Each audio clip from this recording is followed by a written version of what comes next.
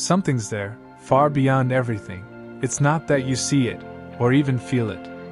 You just hear about it. It's as if you're missing a piece of the puzzle, and that thing that you see, even though you don't know what it is, might just be it. So you just keep looking.